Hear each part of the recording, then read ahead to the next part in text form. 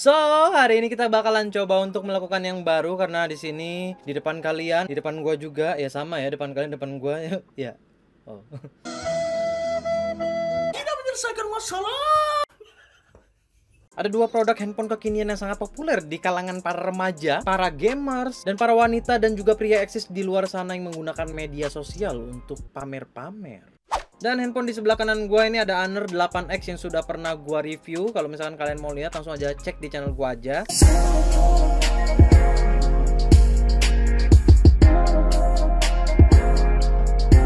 Lumayan nambah view. Dan sebelah kiri gua ada Oppo F9 di mana dari segi harga ini kisaran 3 sampai 4 juta. Dan kalau nggak salah saya ingat gua Oppo F9 itu lebih mahal sedikit. Apa banyak? Sedikit ya nggak tahu lah. Pokoknya semua harganya itu tergantung paketannya dan spesifikasi apa yang bakalan diambil. Dan di sini gua akan membahas secara singkat padat dan jelas menurut versi gua. Jadi kalau misalkan kalian punya pendapat lain langsung aja komentar di bawah. Di bawah di bawah di bawah. Jadi gua akan mengcompare kedua handphone ini menurut pandangan gua salah satunya dari segi harga. Koreksi gua kalau salah kalian bisa cek aja di link deskripsi di bawah untuk ngecek harga dari handphonenya. Dan seingat gua memang Oppo F9 itu lebih mahal sedikit ya. Oke kita langsung masuk aja ke desainnya.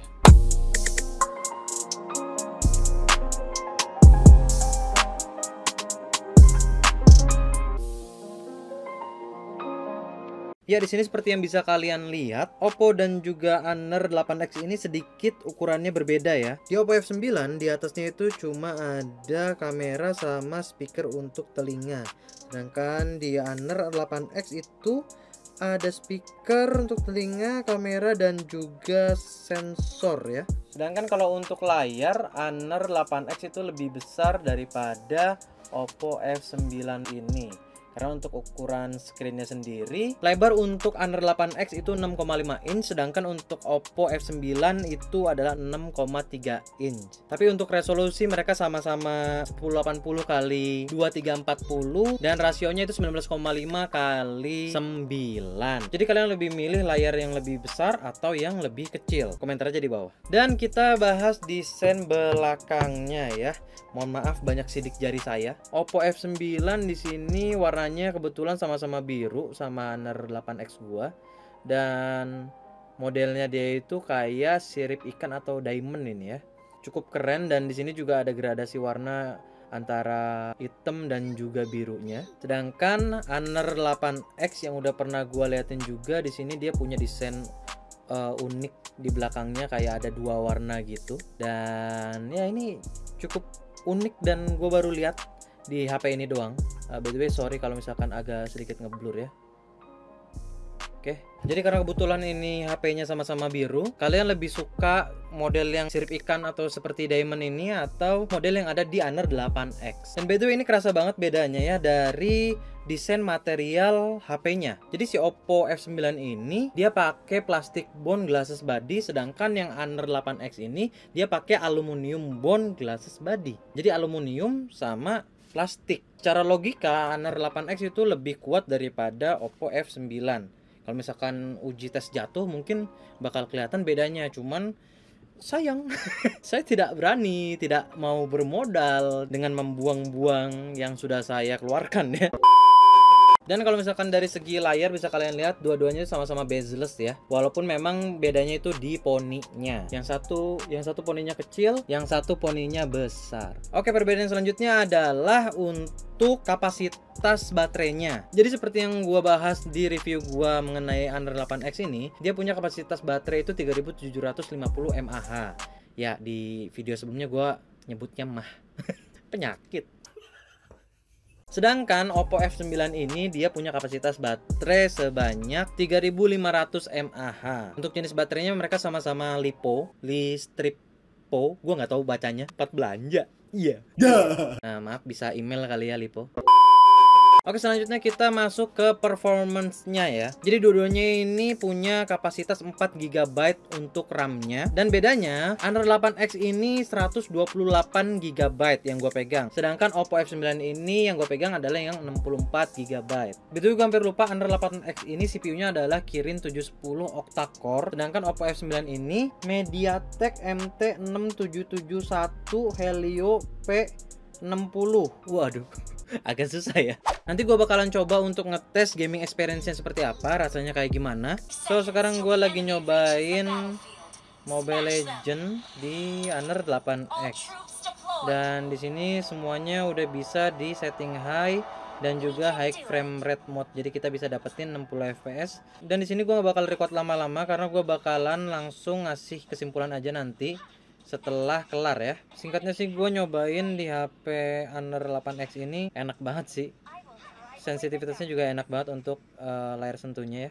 Nggak ada kendala sama sekali. So gue baru nyadar guys di sini layarnya kepotong sama notch ya. Jadi di HP ini tuh notchnya nggak bisa kayak Honor 8X dan nggak suka ada notchnya jadi gua uh, ubah ke mode biasa kalau di HP Honor 8X sedangkan kalau di Oppo ini nggak ada fiturnya. Jadi gue juga rada risih lihat deh jadi gambarnya kayak kepotong gitu agak risih aja. Untuk gerakannya dia sama-sama bisa high mode frame rate ya. Jadi bisa 60 fps dan bisa disetting ke high juga ke settingan mentok. Tapi entah kenapa kalau menurut gue nih ya entah ini mata gue atau apa ya kalau misalkan kalian nyoba langsung itu gambarnya sedikit agak kabur gitu nggak padat. Itu yang gue rasain ya btw gue nggak tahu misalkan kalau kalian nyoba sendiri ya. Tapi yang gue lihat sih gitu gambarnya 60 fps tapi kayak rada kabur gitu loh. Kita udah masuk ke PUBG mobilnya dan gue cuman ada di training camp aja. Dan sedikit yang aneh di sini padahal ini udah gue nonaktifin notesnya ya. Apa gue belum ya? Gue cek dulu deh. Notesnya oke gue lupa belum di hide notes ya. Pantesan kok ada. Sudah hilang ya sudah tidak mengganggu lagi. Dan kalau untuk gerakan gak usah ditanya ya udah enak banget. Oke kita udah masuk ke PUBG mobile-nya ya. Biasa ini notnya sangat mengganggu untuk gua. Dan kalau untuk gerakannya wow oke udah aman. Oke untuk gerakannya aman. Eh eh oke sedikit agak lag sedikit banget. Oh, ngomong-ngomong ini kalau miring agak sedikit gelap ya di kamera ya. Oh mungkin ini kacanya anti spy gitu ya atau gimana ya? Mungkin kita ubah sedikit angle-nya. Nah mungkin harusnya tadi juga gini ya. Cuman ini emang ngalangin muka gua banget. Dan ini untuk gerakannya udah lumayan smooth sih. Cuman tadi awal-awal agak sedikit ngelek aja. Sebenarnya nanti semuanya ada di kesimpulan gue sih. Karena gue bakalan nyobain dulu satu game gitu. Dan nunggu HP-nya panas. Nah di situ baru kelihatan tuh kira-kira HP mana yang lebih baik. Karena kalau misalkan udah panas kerasa banget tuh FPS-nya bedanya kayak gimana. Selanjutnya kita bakal bahas kamera dari Oppo F9 dan juga Honor 8X ini. Jadi seperti yang bisa kalian lihat di sini, model dari Oppo F9 itu mendatar gitu ya, sedangkan dari Honor 8X ini menurun, anjay menurun gak tuh. Terus di sini juga kameranya pisah kalau yang Honor, sedangkan yang di Oppo itu nyatu ya. Kamera dari Honor 8X ini 20 plus 2 megapiksel. Sedangkan dari Oppo F9 ini 16 plus 2 megapiksel. Sedangkan untuk kamera depannya Oppo F9 ini 25 megapiksel. Dan Honor 8X punya kamera depan 16 megapiksel. Jadi kalau misalkan kamera belakang lebih unggul Honor, kalau kamera depan lebih unggul Oppo. Mungkin ini Oppo lebih kayak ngincer orang-orang yang sering selfie kayak gitu ya. Kita bakalan tes kameranya kira-kira seperti apa hasilnya. Kayak untuk foto gue coba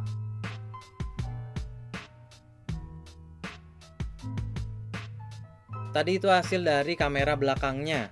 Gue mau coba kamera depannya sekarang.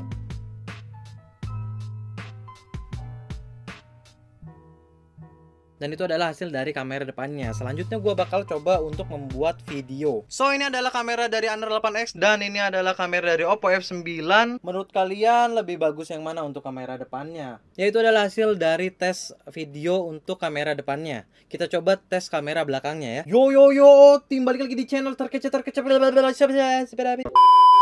jadi ini adalah Honor 8X, ini adalah Oppo F9. Jadi menurut kalian gimana untuk kualitas gambarnya?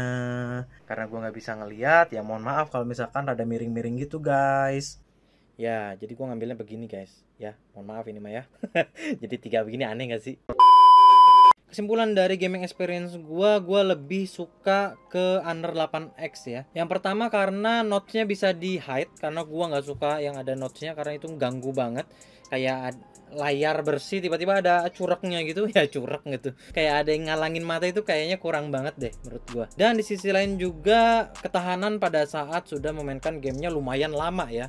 Jadi pas sudah panas itu FPS-nya lebih stabil di Honor 8X sedangkan di Oppo F9 itu pas sudah panas juga uh, lebih banyak ngelek ketimbang dari Honor 8X ini. Mungkin itu karena faktor dari GPU turbonya yang ada di Honor 8X jadi teknologi GPU turbo itu bisa ngehemat baterai sebanyak kurang lebih 30% kalau nggak salah koreksi gua kalau misalkan gua salah dan juga bisa meningkatkan performance dari HP ini terus muncul pertanyaan kok bisa performance performance-nya naik tapi baterainya hemat. Jadi sistem GPU turbo itu sebenarnya kalau misalkan kita mainin gamenya itu game yang misalkan satu tempat kayak misalkan Mobile Legend itu satu map. Kalau misalkan kita udah pernah ngelilingin mapnya otomatis kita udah pernah ngerender si mapnya kan. Jadi nanti kalau misalkan kita bolak-balik dia nggak ngerender dua kali. Sedangkan Oppo F9 ini nggak pakai teknologi GPU turbo. Jadi kalau misalkan bolak-balik ke tempat yang sama dia tetap bakalan ngerender berapa kali pun dia datang ke tempat tersebut. Kalau nggak di PUBG Mobile deh. Misalkan gua udah pernah masuk ke satu rumah nih terus gua keluar rumahnya terus tiba-tiba gue lupa ada lutan yang nggak keambil. Gue balik lagi ke rumah itu Nah itu nggak ngerender dua kali, jadi cukup sekali. Itu alasannya kenapa baterainya bisa lebih hemat.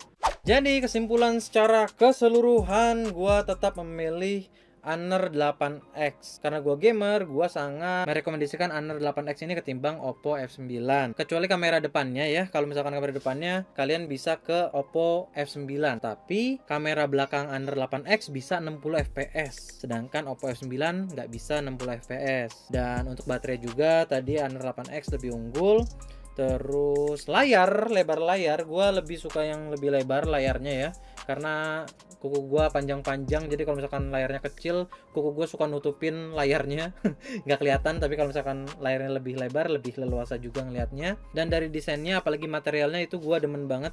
Dia kayak kokoh gitu. Tapi F9 juga not bad untuk segi desainnya karena uh, itu subjektif banget. Kalian suka yang sisik ikan atau model yang beda? Apa sih sebutannya ini? Kayak dia punya dua sisi gitu loh. Yaudah intinya Honor 8X ini lebih banyak keunggulannya daripada Oppo F9 dan itu menurut versi gua. Kalau misalkan kalian punya pendapat masing-masing langsung aja tulis komentar di bawah.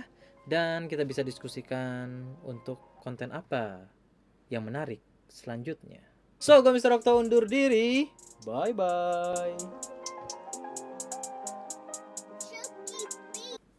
Oh iya, jangan lupa senyum hari ini. Iya.